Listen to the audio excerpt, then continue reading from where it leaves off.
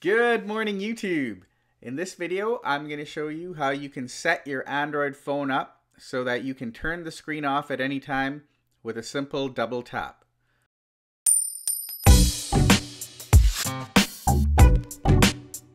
A couple of years ago Nokia came out with a phone that you would double tap to turn it on, double tap to turn it off.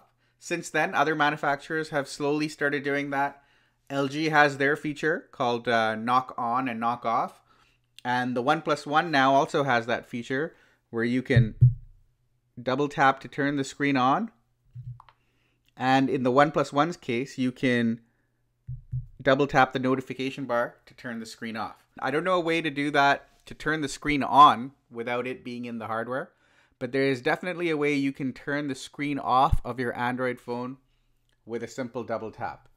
I have that set up for uh, my Galaxy S5 here which doesn't come out of the box like that.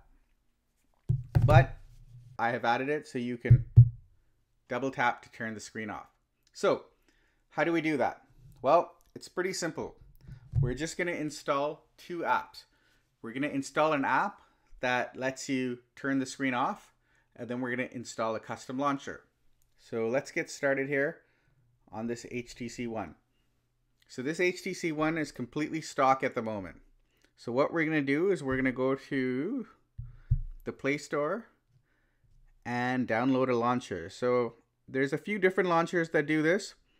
We're going to use uh, Apex Launcher today.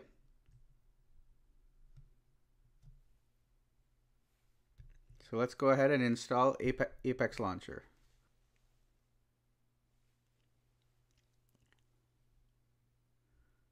Okay, Apex Launcher has been installed. So let's open it.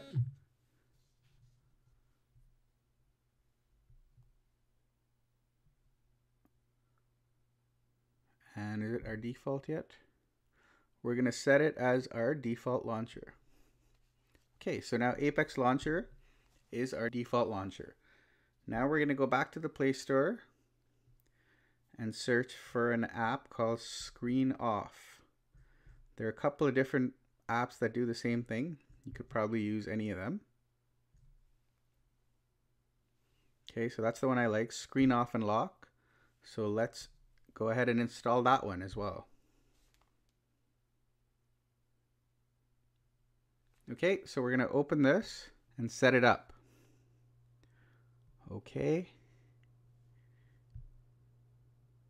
We have to activate it. Okay, it's activated. Now you'll notice if I open it, what it's actually doing is shutting the screen off.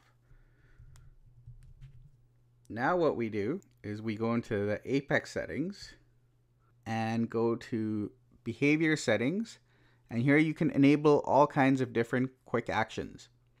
So the one we're going to look at look for is desktop double tap.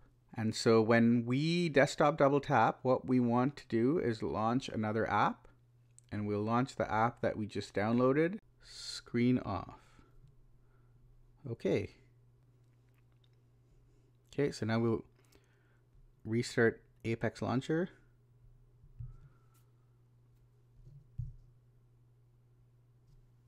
And now when we double tap, the screen shuts off, just like that. Okay, if you liked that video, please uh, remember to subscribe for uh, more videos, and thank you for watching.